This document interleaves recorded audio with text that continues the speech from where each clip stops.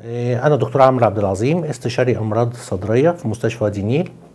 أه نحب نتكلم دلوقتي عن الأمصال والتطعيمات اللي المفروض تتاخد أه للناس قبل ما تصاب وعشان تمنعها من الإصابة بأمراض الإنفلونزا وخاصة إن موسم العمرة وموسم الحج داخلين. فإحنا طبعا عادة بنحب ندي آه، مصل إنفلونزا لكل الناس اللي بتسافر للسعودية سواء عمرة أو حج ولكبار السن وخاصة اللي بيعانوا من آه، نقص في المناعة وده يشمل كبار السن اللي عندهم سكر وكبار السن اللي بياخدوا أدوية مثبطة للمناعة منها الكورتيزون وكذلك الناس اللي عاملين زراعة كبد وعاملين زراعة كلى.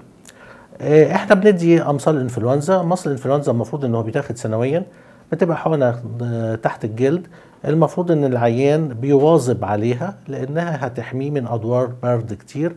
بمعنى ان مش مش هيجيله أدوار إنفلونزا. لا ممكن يجي الدور بس يجي دور خفيف وما يكونش يسبب له بعد كده متاعب زي الالتهاب الرئوي اللي بعد أدوار الإنفلونزا. برضو كبار السن بننصح إنهم يطعموا آه، من حقنة ضد الالتهاب الرئوي البكتيري.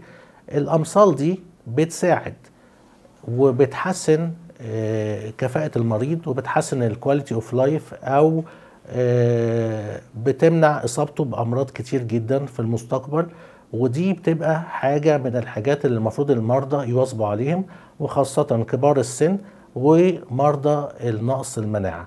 الحاجات دي من الحاجات ال- الكويسة جدا اللي المفروض كل الناس تواظب عليها. شكرا.